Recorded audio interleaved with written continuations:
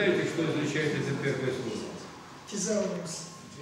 Вы можете догадываться, но точный перевод какой? Ну, если по-русски, то тезис. Перечень вопросов. Последнее наступает через 40 лет после произошедшего события. Как мы знаем, даже ввод войск в Афганистан еще 35 даже не прошло.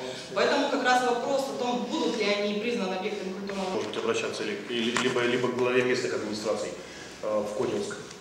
В соответствии с э, законом, с их содержание и благоустройство это органы самоуправления. управления. Но для этого они должны быть признаны воинскими захоронениями.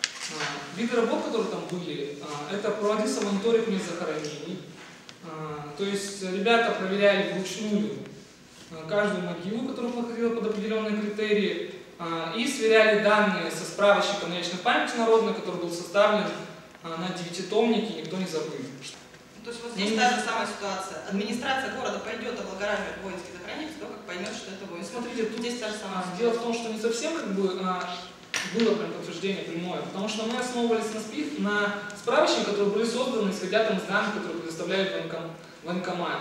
То есть, и в результате это про- производила замена, независимо, есть родственник у них или нет. Мы также проводили а, и проводим акцию «Это неделя памяти», она несколько раз в год проходит, когда мы уже работаем с горячей линией, когда к нам обращаются родственники, потому что не все места захоронения, которые даже мы нашли, а, они есть в каких-то справочниках. И благодаря этому мы ну, свыше 300 ну, за три года именно по, а, благодаря родственникам нашли, потому что они предоставляют всю документацию о том, что участник войны являлся, ну, могила являлась участником войны.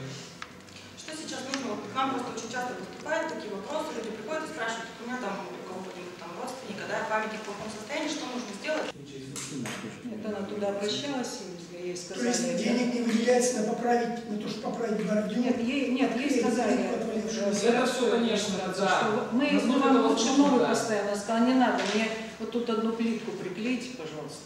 На это, да, на это финансирование есть. Но вот касательно что- чего-то глобального, может, не о том речь.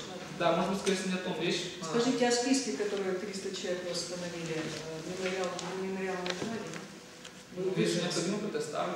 Есть списки, у нас есть фотографии, по крайней мере, ну, какой-то части того, что работа проводилась. У нас есть списки, конкретно какие работы То производились. есть списки, которых вы не нашли в книге памяти. Есть они. Мы отдавали в военный комиссариат, у нас, к сожалению, застряло это еще два года назад. Нет, подождите, какой-то список нам тогда приносили, мы отработали с Евгением Владимировичем, вам передали тех, которые проходили по их документам. Там был список порядка 70 или 80 человек. Тех информации, на которых у них было, там было что-то 3 или 4 человека, они предоставили, на остальных у них сведений нет, вполне возможно, тогда это просто не участник войны. Как бы. территории. А Благоустроено 248 памятников, не только памятников, но и обелисков, аллей, скверов, парков. Помощь 1255 э, ветеранам Великой Отечественной войны, труженикам тыла, вдовам. И в том числе тут э, оказана помощь ветеранам, 328 ветеранам была оказана помощь. 2014 года наша школа участвовала в открытии выставки «Я выжил», посвященной Международному дню освобождения узников фашистских концлагерей. Эта выставка пробудила в нас интерес к этой теме. Мы узнали, что на территории России существуют разнообразные памятники, посвященные узникам концлагерей. Э, Памятник малолетним узникам в городе Самара. Трагедия народов. Мы решили предложить три варианта его расположения.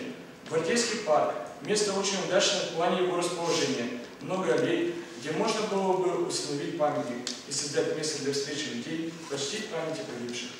Мемориал Победы. Данное место уже используется сообществом со- сочувствия для встреч, но здесь не хватает самого памятника, который можно было бы разместить в природной зоне за танками и орудиями Великой Отечественной войны.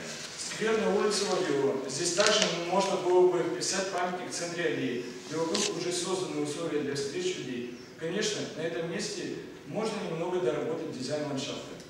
Для успешного, для успешного развития в будущем прежде всего необходимо знать и чтить свое прошлое. Поэтому очень важно сохранять и приумножать объекты исторического наследия, такие как памятник узникам концлагерей. Спасибо за внимание. проблему обеспеченности дела на Красной площади.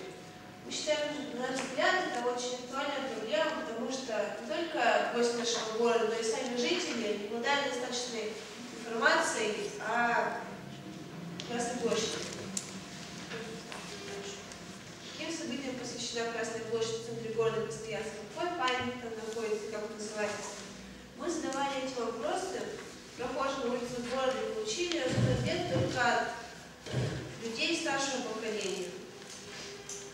А на самом деле там находится памятник погибшим в боях советскую власть и братская могила бойцов Красной Армии, восставших рабочих города, погибших в боях при освобождении Красноярска в декабре 1919 и январе 1920 годов. Вот так вот памятник выглядел первоначально. Он находился над братской могилой. Затем его перенесли в другую часть площади, и она осталась безымянной. Мы выяснили, что это было сложной традицией, так как раньше на Красной площади находился пост номер один. И теперь здесь вечная гонка, вечная гонка и только 9 мая. Красная площадь – это центр пересечения нескольких дорог, ведущих к железнодорожному вокзалу. Гуляя дальше, мы выяснили, что через Красную площадь проходила дорога, по которой ходили солдаты на Первую мировую войну, Вторую и во все горячие точки Афганистана и Чечню. И сейчас молодые парни нашего города и края, уезжая на службу в Крымскую армию проходит дорогу человека, а ежегодно в армию уходят тысячи молодых парней. У нас есть несколько вариантов, как мог бы выглядеть памятник. Мы хотим установить возле сцены, возле сцены, цену провода солдат, то есть э, солдаты уходят в фронт и их провожают либо матери, либо их родные, жены, матеря. Вот несколько вариантов результат будет эскиз нашего памятника, то есть в сторону